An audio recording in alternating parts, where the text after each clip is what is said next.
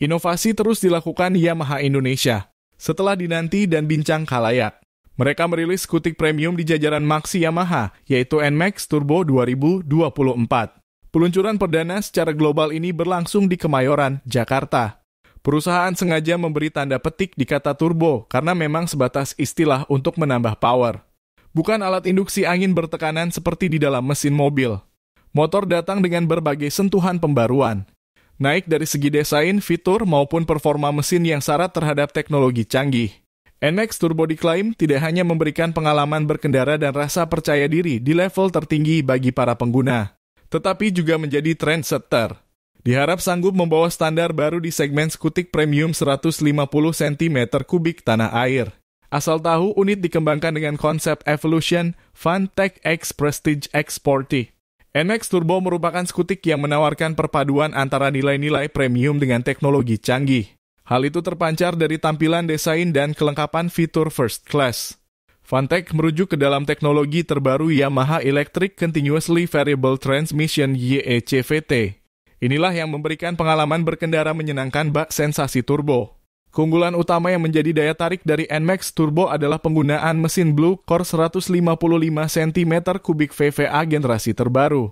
Diklaim telah teruji andal, kuat, dan memiliki torsi merata di setiap putaran mesin, sehingga mampu mendukung berbagai macam kebutuhan mobilitas.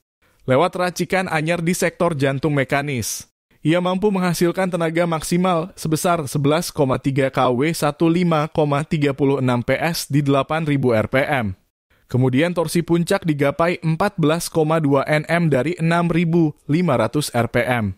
Performa engine baru di NMAX Turbo juga turut dioptimalkan dengan adanya teknologi anyar yaitu YECVT. Penyaluran ini menggantikan sistem CVT konvensional. Terus, sang skutik Maxi memiliki fitur riding mode menawarkan dua mode berkendara, yaitu T mode Town Commuting dan juga S mode Sport Touring. Semua dapat dioperasikan melalui tombol mode di bagian depan stang kemudi kiri. T-mode sendiri cocok digunakan untuk mobilitas harian di dalam kota, karena karakter berkendara lebih halus serta efisien bahan bakar. Sedangkan S-mode cocok digunakan saat perjalanan jarak jauh seperti touring karena menawarkan akselerasi berkendara non responsif. Berdasarkan hasil pengetesan internal Yamaha dengan menggunakan mode berkendara S, NMAX Turbo sanggup berakselerasi lebih cepat untuk menempuh jarak 200 meter dibandingkan dengan NMAX generasi lama. Ada selisih jarak 9,2 meter. Selain adanya riding mode dengan menggunakan YECVT, NMAX Turbo juga memiliki fitur lain berupa Y-Shift. Tombol pengoperasian terletak di bawah setang kemudi kiri. Fitur ini mampu memberikan sensasi berkendara berbeda karena berfungsi membantu pengendara dalam melakukan akselerasi kecepatan secara instan layaknya turbo. Perlu Anda ketahui ada tiga tingkatan yakni low 1, medium 2, dan high 3. Peranti cocok dioperasikan ketika ingin mendahului kendaraan di depan, melewati tanjakan, maupun saat berkendara tandem. Tidak hanya saat akselerasi. Y-Shift juga dapat digunakan buat melakukan deselerasi kecepatan motor ketika menghadapi jalanan menurun.